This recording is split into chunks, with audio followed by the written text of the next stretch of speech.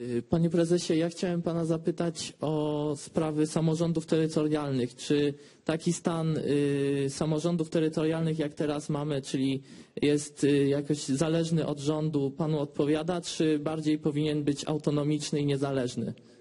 autonomiczny.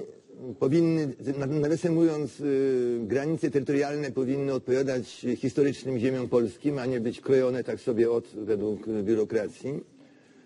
Y, Autonomia oczywiście ziem bardzo daleko posunięta i rzeczy najważniejsza. Podatki powinny być zbierane przez na dole i tylko procent od nich powinien iść do Warszawy, a nie pieniądze powinny iść do Warszawy, a potem władza łaskawie daje samorządom tyle, ile ma ochoty i samorządy się podlizują władzy centralnej, byle dostać więcej pieniędzy. To jest niedopuszczalne, powtarzam.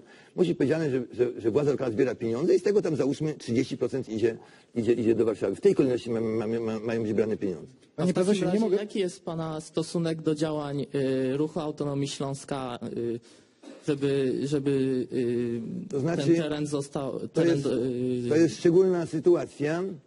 Ja jestem zwolennikiem autonomii dla wszystkich ziem polskich. Ja, czy to jest Śląsk, czy Wielkopolska, czy Mazowsze, prawda, czy Kujawy, e, żeby, żeby to jasno powiedzieć. Ruch autonomii Śląska wyrósł e, z poczucia straszliwej krzywdy, bo Ślązacy mieli obiecano autonomię i, i rząd e, pewnego wybitnego socjalisty, Józefa Piłsudskiego, złamał te postanowienia, prawda? I poza tym Ślązaków wtedy no, bardzo źle traktowano. Ich wielkiego przywódcę, największego polityka Polski okresu międzywojennego, Wojciecha Korfantego. Sadzono przecież, sadzono przecież, przecież do Berezy, do Berezy. Tępiono to wszystko. No i Ślązacy mają to poczucie krzywdy wyjątkowej. I dlatego ten ruch jest nie- niebezpieczny, bo na tym poczuciu krzywdy może za daleko odejść w drugą stronę.